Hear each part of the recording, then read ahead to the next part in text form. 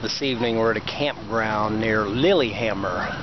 And most of you have heard of that place because it was the site of the 94 Olympics. It's a pretty large campground, people everywhere, but we ran into an interesting group of Dutch. They're having a car rally. There's 800 people, 250 cars. And they're mostly staying in our campground, all scattered through the campground. And one of the interesting things about the this rally is, number one, you couldn't spend more than 500 euro for your vehicle. What you do with it after that is is all up to you. But every day they have. It's a five five day uh, rally, and every day they have different assignments, and they typically go maybe 900 kilometers a day, which for most of you would be what, 600 miles? Yeah. Sounds about right. And they have to do different things. They first went to uh, Copenhagen. And then they went, uh, I don't know where they went yesterday, but today they're in Lillehammer. Tomorrow they're going to, uh, here's one of them over here. Tomorrow they're going to Bergen. But today they had to have pictures of them parked in a Norwegian's garage.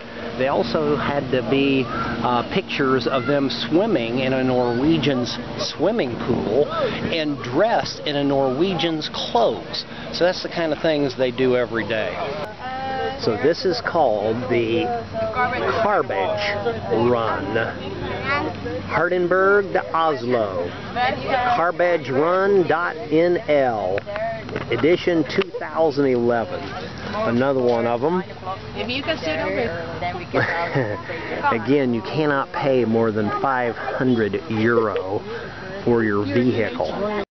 And of course, it wouldn't be a Dutch organization if we didn't have the wooden clogs and the tulips and the uh, very nice. I like it. Great man. Very Dutch. Very Dutch. Very Dutch.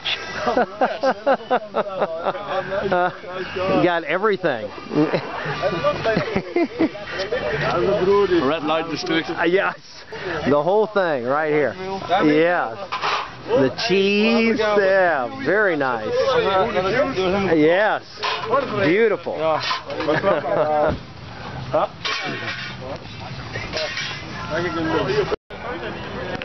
So we also have the sheriff's car here and the police car. I guess that's, what's that, French? earlier. Is that one French, the polizzi?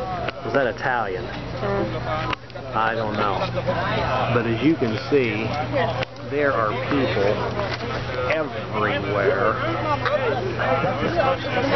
having quite an event. And now we have the Fred Flintstone mobile. And we've got Wilma here at the wheel. They actually dress in costumes when they when they drive this down the road. Wilma in the back seat, Fred in the front. Uh, they got the whole crew painted on the. Oh, he's, he's gonna, He's gonna he's gonna put on the whole thing. Okay, now we got the whole get up. We've got mom in her Wilma outfit.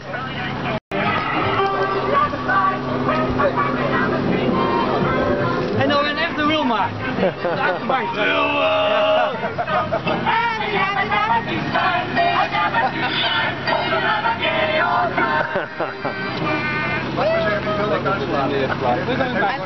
And of course, what would it be without a totally female entry? Are you ahead? Are you the leaders? Leaders? Yes? Yes, leaders. Yes? We I points uh, at this moment. I heard you're the best mechanics. yeah, she is, she is. But we are winning this rally. We are, uh, we are uh, we have all the, uh, the points. All the points. Great. This is the girly side. And we see what? We got pink and polka dots and we got the girl names on it. And then when we go to the other side, we got the uh, the manly side over here.